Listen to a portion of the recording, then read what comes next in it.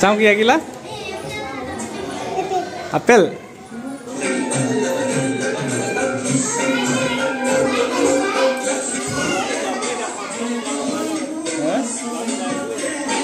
নমস্কাৰ এইটো ফেমিলি স্বাগতম জনাইছোঁ আপোনালোকক মোৰ নতুন এই ভিডিঅ'ত। আৰু আজি চাৰিশ সংখ্যক লাচিত দিৱসৰ উপলক্ষে আমাৰ ঘৰৰ সন্মুখতে থকা অংগনবাদী স্কুলখনলৈ আহিছোঁ। তো তাত কি কি হৈছে আপোনালোককো থুলমূলকৈ দেখাবলৈ চেষ্টা কৰিম। তো আপোনালোকেও চাই থাকিব।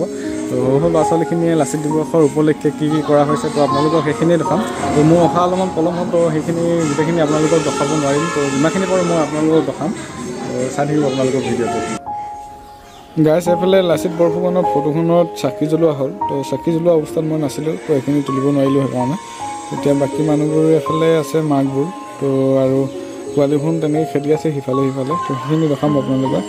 ইয়াত কিবা কিবি ছবি আঁকিছিলে বোলে তো ছবিখিনিও কি কি আঁকিলে দেখাম মই অলপ পিছত আপোনালোকক।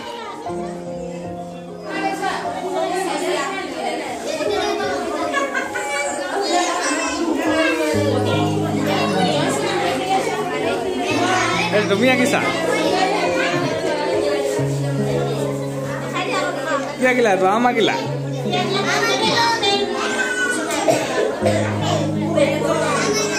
আচ্ছা তুমি আম আঁকিলা আচ্ছা কি আঁকিলা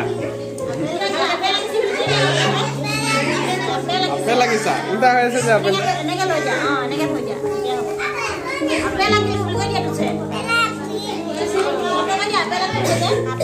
আপেল আঁকিলা তুমি আম আঁকিলা আম আম আঁকিলা মাটি কথা লাগিলা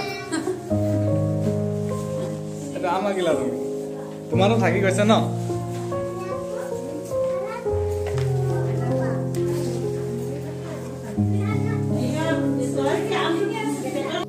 কি নাম তোমাৰ? চাওঁ কি আঁকিলা আপেল। ঘূৰাই দিয়া আকৌ চাওঁ।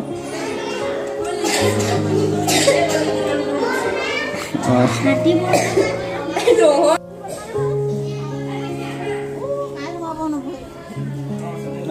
পিন্ধি ল'ব লাগেতো তো। গাইছ এতিয়া এইটো কমলা পুলিটো ৰুব গৈছোঁ তো সৰু ভাইটিটোৱে এইটো কমলা পুলিটো লৈ আহিছিলে তো এতিয়া তাত ৰুমগৈ এতিয়া। মানে মই আগ আহোঁতে অলপমান পলম কৰি দিলোঁ আগতেও কিবা কিবি পুলি ৰুলে তো সেইখিনি দেখাব নোৱাৰিলোঁ আপোনালোকক।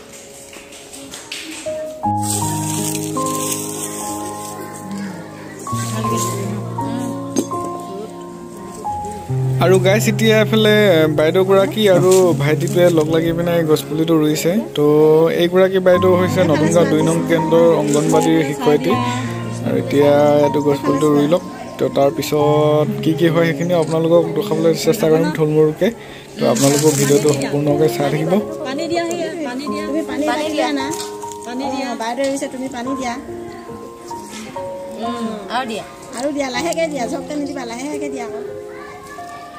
আৰু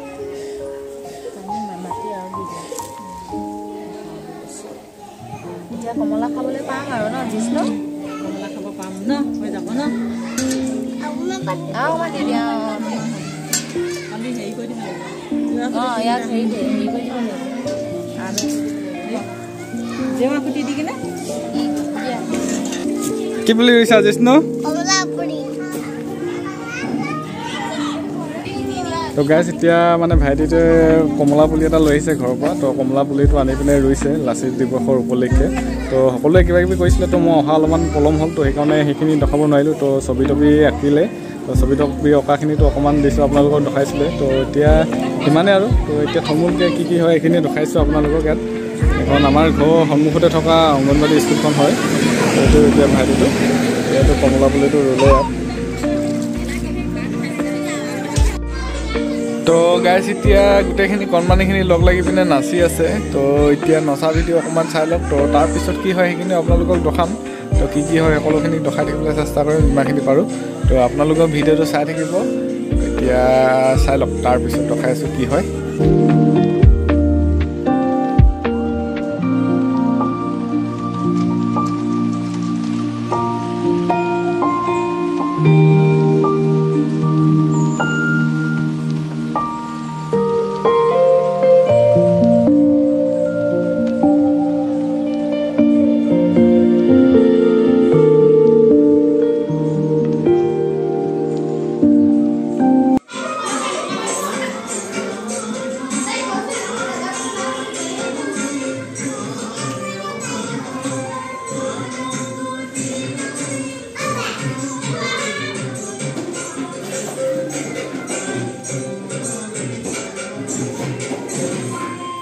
আৰু গাইজ এতিয়া এইফালে বৰ ধুনীয়া নৃত্য এটা প্ৰদৰ্শন কৰি আছে ভণ্টিকেইজনীয়ে আৰু এতিয়া মানে এইটো নৃত্যটো কি নৃত্য কয় মই বাৰু নাজানো আৰু বাজি থকা গীতটো নাজানো ইমান ভালদৰে কি গীত কয় বৰগীত কয় নে লোকগীত কয় তেনেকুৱাই কিবা হয়।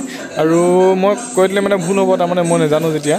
তো সেইকাৰণে আপোনালোকে যদি কোনোবাই জানে তেতিয়াহ'লে মোক কমেণ্টত জনাব এইটো কি গীত কয় আৰু নৃত্যটো কি নৃত্য কয়। আৰু এতিয়া চাওক আপোনালোকে কিমান ধুনীয়া এটা নৃত্য প্ৰদৰ্শন কৰি আছে তো এইটো ইমান সৰু বয়সতে ইমান ধুনীয়া ধুনীয়া নৃত্য প্ৰদৰ্শন কৰিছে।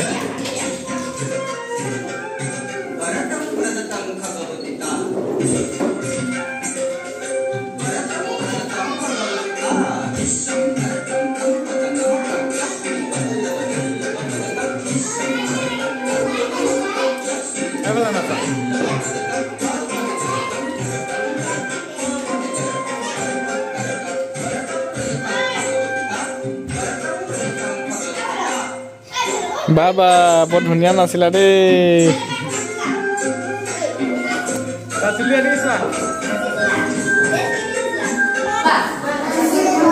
লাচিত বৰফুকন কোন আছিলে? মই কম তোমালোকে শুনিবা দেই। লাচিত বৰফুকন হৈছে আমাৰ অসমৰ কাৰণে এসময়ত যুদ্ধ কৰিছিলে। দেই কেনেকে যুদ্ধ কৰিছিলে মই কৈছো শুনা। অসমৰ ইতিহাসত যিসকল বীৰ যোদ্ধাৰ নাম জিলিকি আছে সেইসকলৰ ভিতৰত লাচিত বৰফুকন অন্যতম। তাৰমানে লাচিত বৰফুকনেও আমাৰ অসমৰ কাৰণে যুদ্ধ কৰিছিলে। তাৰপিছত চোৱা তেওঁৰ জন্ম হৈছিল টুৱেণ্টি টু ষোল্লশ বাইছ চনৰ টুৱেণ্টি ফ'ৰ নৱেম্বৰ মানে আজি। চৌবিছ নৱেম্বৰ তাৰিখে এটি আহোম পৰিয়ালত তেওঁ মানে আহোম পৰিয়ালত জন্ম হৈছিলে। লাচিত আছিল নিৰ্ভীক আৰু অতি সাহসী। তেওঁৱেই শৰাইঘাটৰ ৰণত মোগলক পৰাস্ত কৰি অসমৰ পৰা খেদি পঠিয়াইছিল। তাৰমানে মোগলবোৰ যে আহিছিলে মোগলবোৰে আমাক মাৰিব আহিছিলে তেতিয়া লাচিত বৰফুকনে সিহঁতক পিটি পিটি এবাৰ পঠিয়াই দিলে। তোমালোকে আমাৰ অসমত নাহিবা বুলি ক'লে। গম পাইছা? নহলে সিহঁতি আহাহেঁতেনতো আমাক মাৰিলেহেঁতেন হয়নে নহয়? বিষ্ণু? সেই যুদ্ধতে তেওঁ দেশতকৈ মোমাই ডাঙৰ নহয় বুলি কৈ নিজৰ মোমায়েকৰ শিৰচ্ছেদ কৰিছিলে যিদিনাখন যুদ্ধ হৈছিলে সেইদিনাখন লাচিত বৰফুকনৰ বহুত জ্বৰ উঠিছিলে। দেই বহুত জ্বৰ উঠিছিলে। কিন্তু যুদ্ধ নকৰিলেতো নহ'ব। জ্বৰ হৈ থকা ভাগি মানে যুদ্ধ কৰিবলৈ গ'ল।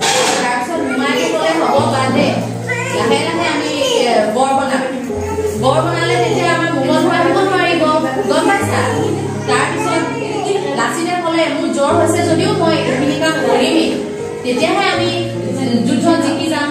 মোমায়েকে ক'লে আজি নালাগে অকণমান দেৰিকে কৰিম। লাচিতৰ খং উঠিলে মোমায়েকৰ ডিঙিটো কাটি দিলে। মানে শিৰচ্ছেদ কৰি দিলে। আৰু ক'লে কি আমাৰ দেশতকে মোমাই ডাঙৰ নহয় নহয় আমাৰ দেশখনহে ডাঙৰ সেই বুলি কৈ পেলাই মোমায়েকক মাৰি পেলালে। তাৰ পিছৰ পৰা এতিয়া কি হ'ল? আমাৰ অসমত লাচিত বৰফুকনৰ বাৰ্থডে পাতোহে আমি তোমালোকৰ বাৰ্থডে যেনেকে পাতো। গম পাইছা জয়শ্ৰী?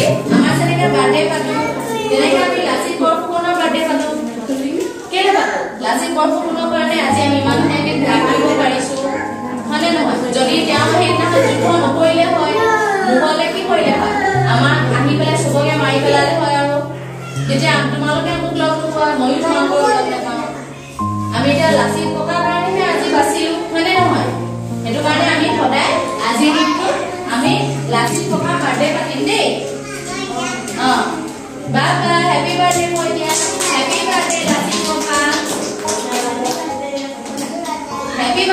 ককা ককা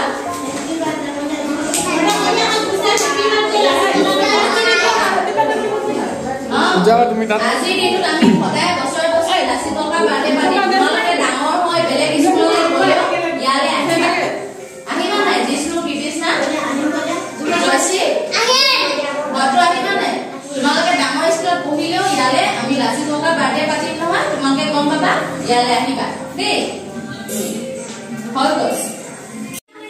আৰু গাইছ এতিয়া গোটেই কণমানিখিনিক পায়স খাবলৈ দিয়া হৈছে তো ইহঁতো পায়স খাওক। আৰু আজি ভিডিঅ'টো ইমানেই আছিলে। আৰু যদি ভিডিঅ'টো চাই পিনে ভাল পালে তেতিয়াহ'লে কমেণ্টত জনাব। আৰু যদি চেনেলটো ছাবস্ক্ৰাইব কৰা নাই ছাবস্ক্ৰাইব কৰি ল'ব। আৰু লগতে ছাইডত থকা বেল আইকনটো অলপ প্ৰেছ কৰি থ'ব। তো তেতিয়া মোৰ আহিবলগীয়া প্ৰতিটো ভিডিঅ' আপোনালোকে অতি সোনকালে পাই থাকিব। আৰু ইমানেই আৰু লগ পাম নতুন এটা ভিডিঅ'ত আপোনালোক সকলোকে। তেতিয়ালৈকে বাই বাই